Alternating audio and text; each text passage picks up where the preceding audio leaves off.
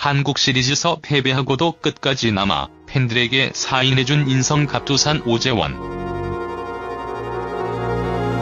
뉴스 1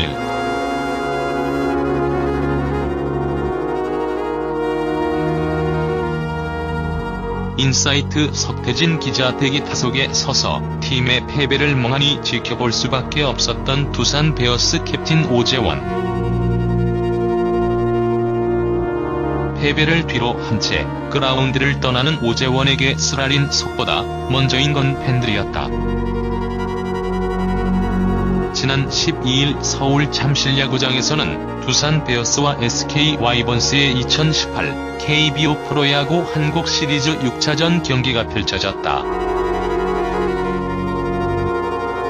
연장까지 가는 접전 끝에 두산은 SK에 4대 5로 패배하며 통산 여섯 번째 한국 시리즈 우승을 놓치고 말았다. 인스타그램 저원해버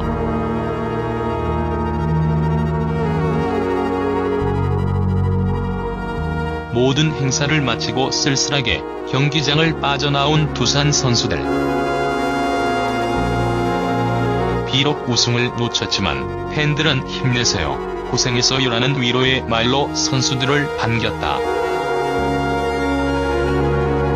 평소 츤데레 같은 성격으로 팬들과 소통해온 오재원은 이런 팬들을 두고 버스에 그냥 오를 수 없었다.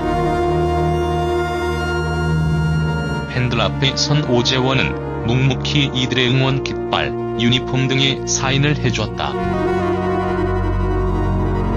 인스타그램 저원해버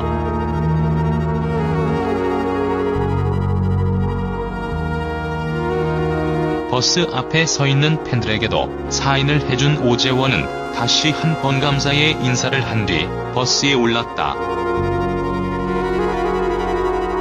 홀로 남아 사인을 해준 이유에 대해 묻자 오재원은 응원해 주셔서라는 짧은 대답을 남겼다. 짧지만 팬들을 향한 감사함이 느껴지는 그의 따뜻한 말과 행동.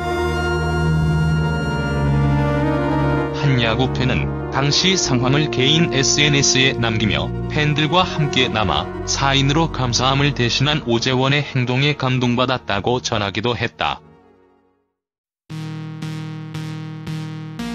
인스타그램 저원해버